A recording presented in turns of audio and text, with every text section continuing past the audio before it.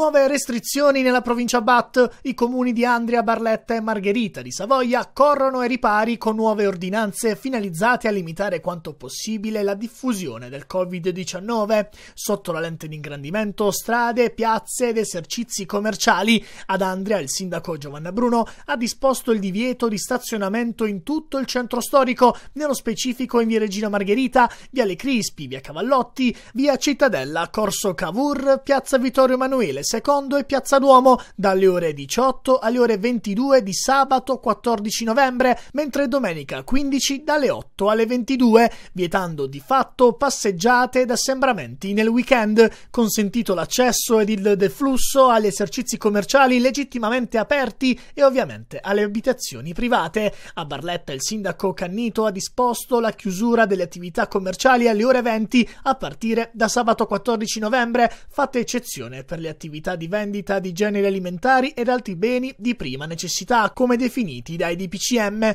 Una misura, si legge in una nota del comune, resa necessaria dall'aumento dei contagi nelle ultime ore. A Margherita di Savoia, invece, il sindaco Lodi Spoto ha anticipato di un'ora la stessa misura, istituendo la chiusura delle attività alle ore 19, lasciando la libertà di effettuare l'orario continuato. Con il primo cittadino salinaro si sono allineati anche i comuni di Trinitapoli e San Ferdinando di Puglia. Resta invariata la situazione nella città di Trani con l'ordinanza del sindaco Bottaro di circa dieci giorni fa che già impone il divieto di transito e stazionamento in alcune zone sensibili del paese a partire dalle ore 18, fatta eccezione per l'accesso ed il deflusso alle abitazioni private, agli esercizi commerciali legittimamente aperti, agli spostamenti determinati da esigenze lavorative, attività sportiva o motoria individuale, situazioni di necessità, ovvero motivi di salute.